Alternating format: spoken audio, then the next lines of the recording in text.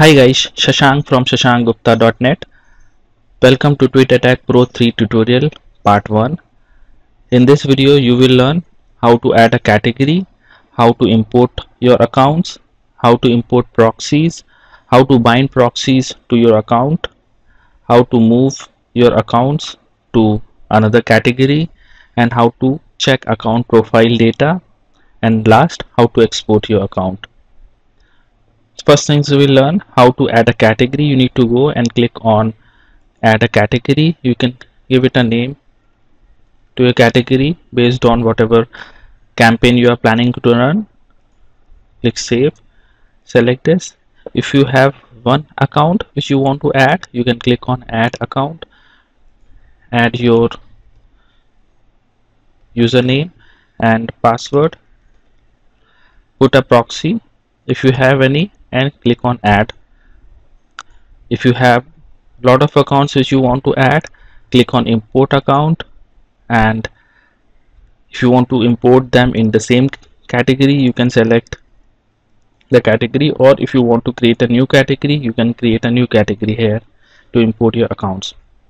Now there are two methods through which you can import your accounts. One is using txt file second is using csv file.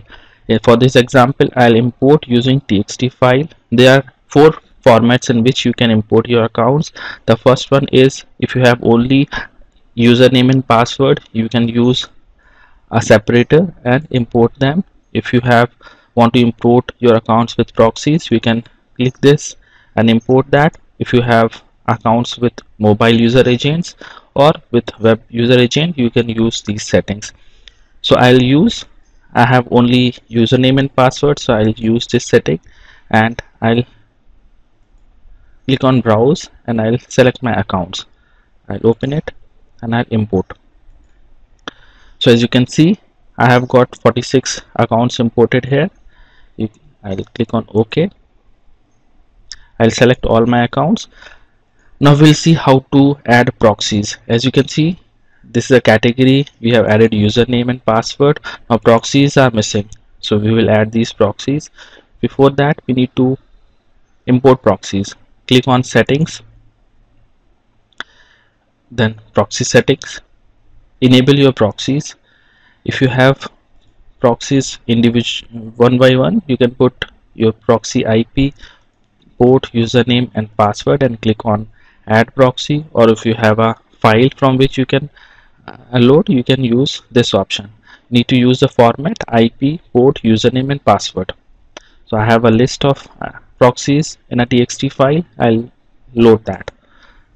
Proxies import open. So now you can see my proxies are showing here. I need to check and remove invalid proxies. Once done you can save your proxies. Saved don't forget to save the settings here. Save it. Done. Now we will go in accounts and bind proxies with these accounts. Need to go on bind proxies. Select the accounts which you want to bind. Select the proxies. Come down. Click on loop to bind all accounts and then click bind proxies. Jump already bind accounts yes. If you have some accounts which already have a proxy assigned to those usernames use users accounts you can use this. So it will uh, jump those and add proxies to the accounts which do not have any proxies assigned to them. Click yes and it has added proxies or it has linked proxies to the accounts. Save it successfully. Now you can see each account has got its own proxy assigned so this is how you will be adding proxies to a Twitter account.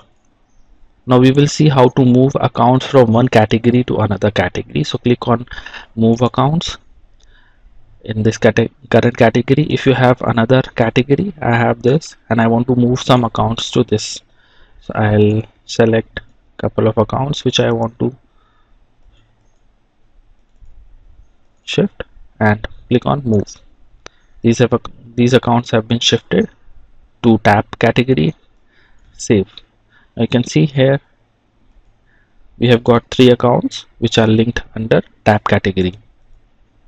Now next we will see how to check these accounts update their profile data. All you need to do is click on check account get all profile data check. While this updates the profile data I want to show you my blog. I write on Tweet Attacks Pro. Visit my blog and check out some latest post on Tweet Attacks Pro. I have mentioned how you can uh, generate leads using twi Twitter Tweet Attacks Pro. So as you can see that uh, the accounts have been updated. Uh, username name on the account how many people following how many followers it got uh, how many tweets it has done. So this is how you will check your account now let's learn how to export these accounts. Simply all you need to do is click on export account. What all details you want to export click on that and browse. Give a name category name and save it. Click on export. Done. This completes the video.